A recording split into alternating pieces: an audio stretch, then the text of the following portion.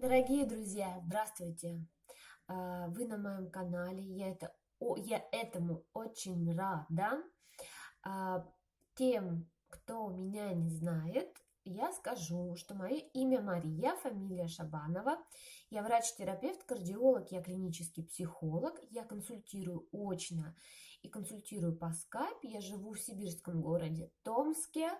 Также я начала цикл а, видео, посвященных шизоаффективному расстройству. Это психиатрический диагноз, который есть у меня. А, я нахожусь в стойкой медикаментозной ремиссии уже несколько лет. И я а, решила помочь людям с таким же диагнозом, как у меня, для того, чтобы они также вошли в стойкую ремиссию, медикаментозную, а потом, дай бог, и без, без медикаментов могли бы быть в ремиссии. А, к чему, собственно, я и стремлюсь. Сегодняшнее видео я хотела бы посвятить больше девочкам, но, возможно, мальчикам тоже будет интересно, да?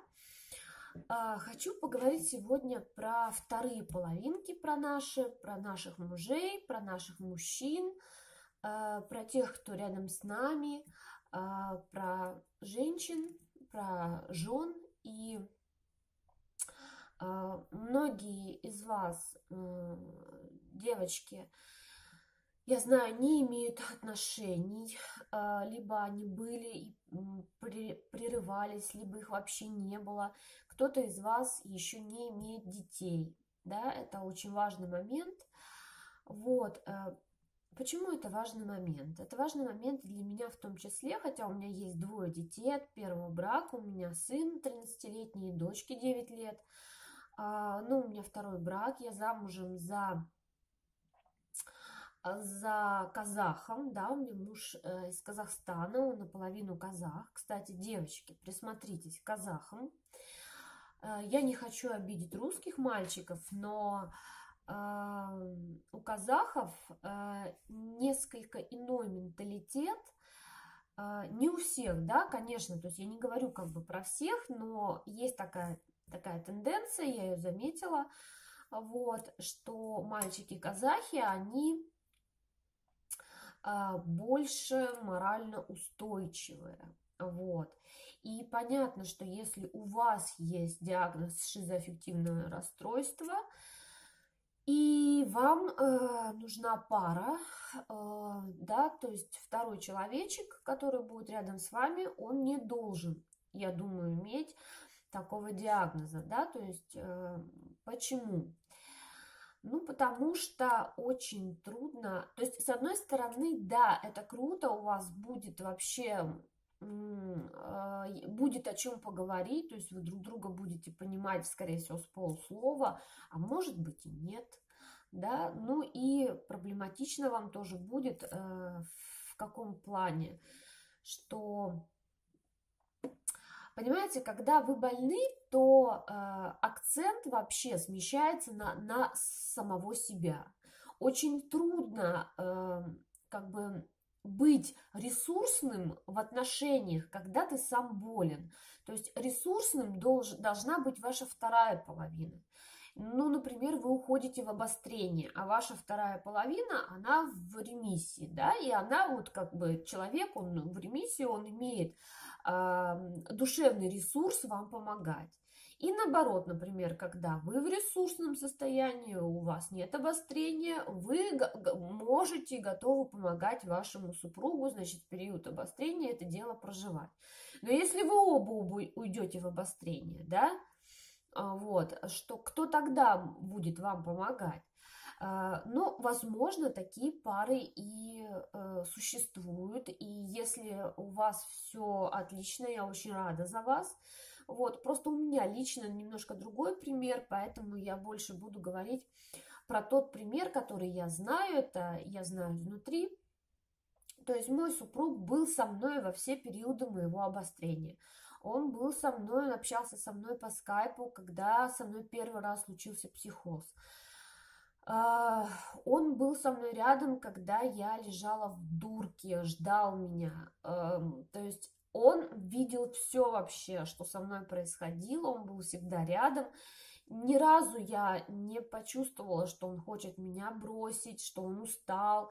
А, были периоды, когда, например, э, он брал на себя полностью хозяйство, да, он брал на себя полностью там готовку еды и так далее. То есть вот, ну, такие вещи, я знаю, что он не любит это делать, что он э, хочет, что, ну, ему нравится, когда готовлю я, да, то есть он приходит э, и э, он может приготовить все, что хочет, но он любит, когда готовлю я. Но бывали периоды, когда он сам готовил, э, вел хозяйство, э, вот, занимался и детьми в том числе. А, когда те болели, а у меня не было возможности, например, ночью вставать к ребенку. Вот, то есть, э, и почему я как бы вот рекламирую, рекламирую мальчиков из Казахстана, именно потому что у него очень э, твердая психика, да, то есть он не сказать, что он самоуверен, да, то есть не, нет вот этого как бы плюс, он просто уверен в себе. Вот. И вот эта уверенность в себе, она мне очень помогала, потому что он своей психикой, понимаете, вот очень важно понять этот момент, он своей психикой лечил мою психику. То есть он э, не сомневался никогда. Я не, может быть, он и сомневался где-то в глубине души, просто он мне никогда этого не показывал что он не сомневался, что со мной все будет хорошо, то есть он э, не убежал, там, меня не бросил, да, то есть мы понимаем, что в жизни может быть всякое, когда мы выходим замуж, да, и в, и в горе, и в радости мы эти слова там говорим или слышим, вот, но на самом деле это далеко не так. И я знаю очень много примеров, когда девочки попадали Э, на психу, попадали в психиатрическую клинику, и их мальчики исчезали из поля зрения, вообще пропадали. Также я знаю случаи, когда девочки скрывали свой диагноз и потом, то есть выходили замуж, а потом диагноз э, как бы открывался и супруг разводился, да, то есть вот он э, не выдерживал, не простил вот, вот этого как бы подвоха, вот. Поэтому я вам говорю, девчонки, не бойтесь открывать свой диагноз. Вы понимаете, что если с вами рядом человек, который вас действительно любит, он будет с вами и в вашем обострении в том числе, будет вас поддерживать. Но если он сделает ноги, да и хер с ним, понимаете? И слава Богу, что вообще вы от него избавились. Потому что какие в жизни только бывают ситуации, да, разные очень. И он может самое, мог бы в самый ответственный момент просто свалить. А вы сразу рассказали свой диагноз, и сразу вы узнали, что это за человек. Если он под каким-то предлогом свалил, ну, все с ним понятно. Да, как бы плюнуть, плюнуть, растереть вообще и забыть.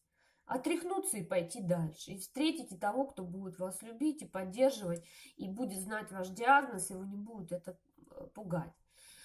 Теперь момент беременности, да, который для меня стоит э, очень остро, потому что супруг, э, естественно, хочет своих детей, то есть я думаю, это можно понять любого человека, который хочет своего собственного ребенка иметь, вот, а я пока беременеть не могу, потому что я на препаратах и э, ни так, ни сяк, ни наперекосяк, все равно первый триместр, когда закладываются органы у ребенка, мать не должна принимать по большому счету никаких препаратов. Однако, есть здесь но.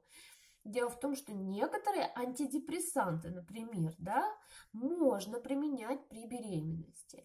Поэтому я уповаю на нашу науку, на нашу фармацевтику. Наука вперед, медицинская идет э, семимильными шагами. Э, производятся все более очищенные нейролептики, производятся все более очищенные антидепрессанты. И, возможно, в скором времени появятся нейролептики, которые не будут попадать через э, гематоэнцефалический барьер, через вот этот барьер, который э, между в плаценте, между кровью матери и ребенка, да, он через этот барьер не будет проходить вот лекарства. Поэтому в этом плане, например, мальчикам намного проще. У них сперматозоиды каждые две недели обновляются, да, а у нас э, такого нет. У нас яйцеклетки, которые э, уже заложены изначально, вот, а у мальчиков сперматозоиды обновляются каждые две недели. И вообще, в принципе, даже если человек принимает нейролептик, ему не обязательно там то есть э, в, для, мужчины, для мужчины это не проблема сделать ребенка, э, ничего не случится, если он на нейролептиках да, ребенка сделает. То есть это вполне себе э, возможный вариант. Вот. С мужчинами другая ситуация складывается. Очень многие больные мужчины не хотят принимать препараты, либо не хотят принимать их в адекватных дозах. Почему? Потому что здесь идет такой внутренний момент, что я должен победить эту болезнь самостоятельно. Я должен пережить этот психоз самостоятельно. А, кстати, по поводу психоза, лечения психоза, бреда и так далее, я сниму немножко другое видео. Вот, здесь чуть-чуть только это затрону. А, так что у мальчиков в плане зачатия проблем-то нет. Вот, а у девочек есть. Э, поэтому нужно понимать, что хотя бы первый триместр беременности нужно обходиться без препаратов. А потом, потом их уже можно подключать, когда у ребенка сформированы э, системы органы. Да? Вот, поэтому ждем нейролептиков, которые не будут проходить через гематоэнцефалический барьер, и будем спокойно беременеть и рожать, и все будет у нас хорошо. Вот, так что, девчонки, смотрите, не скрывайте свои диагнозы, да, это для, это для вашего будущего супруга некий такой тест, сбежит или не сбежит, да, знаете, когда бывает, что пара там здорова, у них все хорошо, и рождается больной ребенок, например, да, и папа сразу делает ноги, вот, и мама остается с этим ребенком а, одна, растить его и так далее. Вот.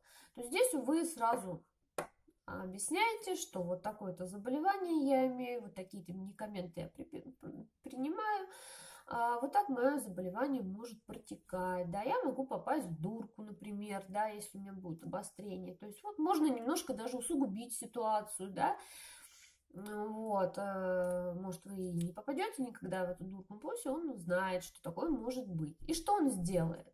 Да, либо он останется с вами, скажете, любимая, э, я буду с тобой там до гробовой доски, чем ты не болела, я буду тебя поддерживать всегда.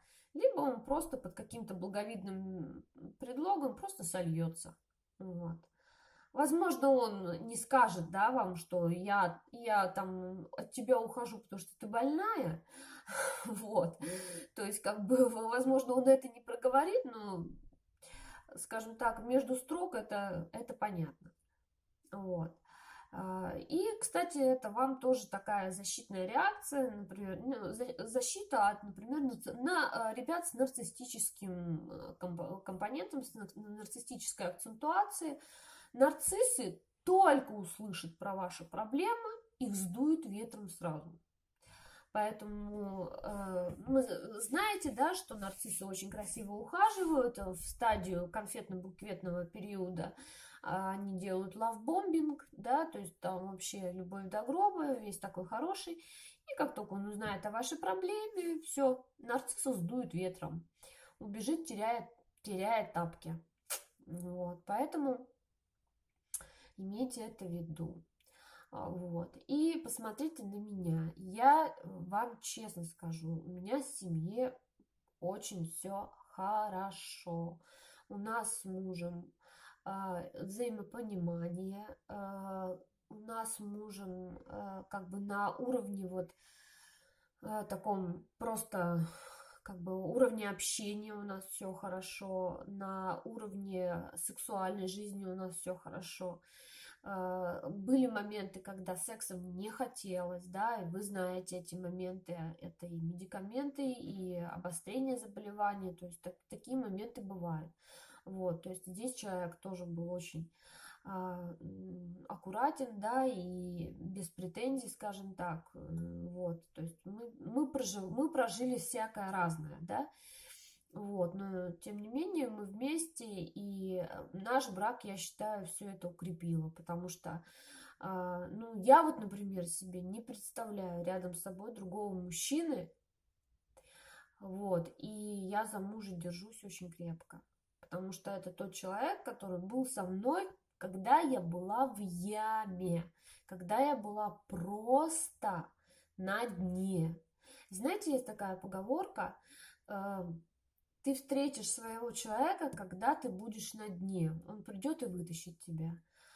А почему, типа, он до сих пор не приходил? Потому что ты еще не на дне. Да, то есть, ну, это я не желаю никому быть на дне и как бы ждать там своего человека. Но, понимаете, э, не надо этого бояться. Да, то есть не надо этого бояться. Не надо бояться там этого обострения и попадения в дурку. Именно в этот период вы можете встретить э, самую большую свою любовь в мире, в жизни. Вот. То есть не бойтесь, не бойтесь открывать свой диагноз, не бойтесь о нем смело, открыто говорить. А, понимаете, тут даже вот такой психологический момент. Если вы это скрываете, а человек вообще может не знать, что это такое, да, там, ну, как бы, не может и вообще не испугаться, когда вы скажете, что вот я болею. А если вы это скрываете, если он чувствует, что для вас это, ну, вот какой-то такой вот э, скелетик в шкафу, который не хочется доставать, его это испугает. Вот, то есть так бы он, может быть, не испугался, если вы спокойно, да, об этом скажете, да, ты знаешь, что у меня есть такой диагноз, вот, э, почитай, пожалуйста, про него, какие могут быть проблемы, то есть имей в виду, да, вот, я тебя сразу предупреждаю, что я пью препараты и так далее. Если ты готов э, со мной пройти через это, я буду рада. Если ты не готов, ну, тогда наши пути расходятся. Да? То есть спокойно к этому отнеситесь, вот, а не так, что как-то... Отнеситесь к этому как... Ну, знаете, некоторые люди сбегают там все очень многие соматические заболевания, такие тоже достаточно тяжело протекающие, да, и как бы вроде и не стыдно про них говорить, но это тот же инсульт. Да, у человека парализовало, и все. И он лежит. Вот. И непонятно, встанет он или не встанет. Что хуже? Иметь инсульт или шизоаффективное расстройство, да? Тут можно подискутировать. Вот. Поэтому, девчат, если у вас есть какие-то вопросы ко мне а, по поводу секса, таблеток, а, по поводу а, вообще отношений с мужчиной, какого мужчину лучше выбрать, не выбрать и так далее, пожалуйста, пишите в группу, группа психолог, коуч Шабанова Мария на ВК. Группа закрыта для того, чтобы мы там обсуждали и эти темы в том числе. Вот. Значит, мальчики, э, русские мальчики, не обижайтесь на меня, пожалуйста, то, что я вот как-то вот казахов прорекламировала, да, ну, просто вот у меня такой опыт с моим супругом, что вот, ну, у нас как бы все очень гладко, хорошо получилось, а он казах. А, вот, русские мальчики тоже, я знаю, бывают очень добрые и понимающие, принимающие, вот, и с крепкой психикой, и э, там уверенные в себе, у них нет проблем там с самооценкой. Вот, поэтому, ребят, посмотрите на меня, да, вот кто-то, может быть, кто-то из мужчин меня смотрит сейчас, да, здоровых. У кого-то может быть подруга шизоаффективным расстройством, и он не знает, что делать, он не понимает, там, может быть, какие-то слышит советы со стороны, да нахрен она тебе нужна, больная, да. Посмотрите, пожалуйста, на меня. Я выгляжу больной. Я полностью социализирована. Я работаю на двух работах. Я зарабатываю деньги в семью. А, я веду хозяйство. Вот. Я веду YouTube канал. Посмотрите на меня. Я человек с шизоаффективным расстройством. Вот. И я тот человек, который... Я та сейчас я стала сама собой сейчас благодаря поддержке своего мужа. Если бы его не было рядом, возможно, я бы не была такой вообще даже близко. Подумайте о том, насколько важна поддержка для девочек ваших, понимаете? Насколько можно верить в человека, что у него все будет хорошо, давать ему эту поддержку. Вы поймите, пожалуйста, вот мальчики, вот, вот вы поймите, что вы сейчас свою женщину поддержите, а потом э, у вас смертность более ранняя. Вы э, заболеваете сердечно-сосудистыми заболеваниями. Мужчины больше подвержены инфарктам, инсультам, например, да. И вы поймите, что сейчас вы свою женщину поддержали, а потом она поддержит вас. Когда, не дай бог, если у вас случится какая-то беда в более поздний период времени, да, после 60-65, все эти штуки начинают вылезать. Вот. Да, это как бы дашь на дашь получается, ну и что? Вот. Вот так вот, друзья. Ну ладно, задавайте свои вопросы. Заходите ко мне на страничке, пишите, заходите в группу, приходите на индивидуальные сессии. Будем разбирать непосредственно все ваши заморочки, ваши тараканы, чтобы всех, все эти тараканы повыскакивали из вашей головы. Вот. Буду вам помогать. Все, друзья, пока-пока, целую, пока.